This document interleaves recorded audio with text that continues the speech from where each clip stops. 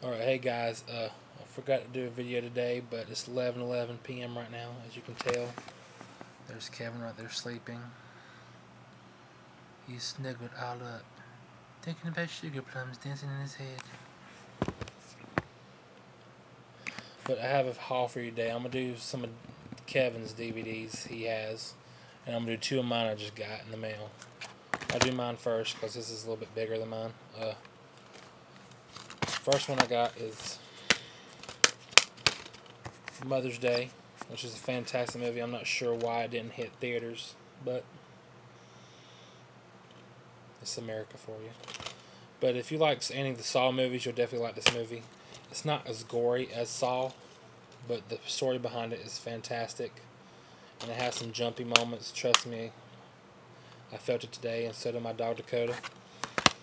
And the next one I got is What's Your Number? Reason I got it because Chris Evans. I heard he was nude, and that's no lie. He's a nice tushy patushy. So yeah, uh, this movie right here here is fourteen dollars at Walmart. So, a very fantastic movie and very funny. And this was nine ninety eight. So, yeah. All right, here's Kevin's. He loves uh, him some Pee Wee Herman. So, he bought the collection the whole season set of Pee Wee's uh, Playhouse. So I told him I would do this. So right here, I used to watch it when I was little, but now I mean, I, I only watched a couple episodes so far. But he's watched the whole damn thing. He can watch it every day. This, when I, sometimes when I watch it now, I feel like I'm high, but it's okay.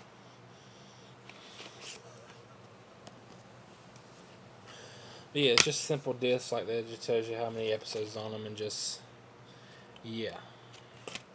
It's like that for each and I don't think he paid much for them. But uh, he ain't finished with the Pee Wee collection. He's got one more movie and something else to get. I got him that when our video store closed. I bought him the Pee Wee's Big Adventure. Because it's 1980s. That's right. 1980s was a shit. Just simple that. Simple disc. Uh, I think this was Tim Burton's first film he's ever done. Good movie. Uh, he has the Pee Wee Herman show. Which I don't think I've watched this. I'm not sure if I did or not. Yes. And Pee Wee's Playhouse Christmas Special, which came with the uh, collection of Pee Wee's Playhouse. Yeah, it has Oprah Winfrey on there. It has Frankie Avalon, Charo, Whoopi Goldberg, Magic Johnson, Little Richard. Zsa. Yeah, this is just a regular thing. Yeah. They went all out when they did the Pee Wee set, so yeah. The reason I'm not talking loud like I normally do because my parents are in bed and Kevin's in bed, so but let me show you the season two of Pee Wee.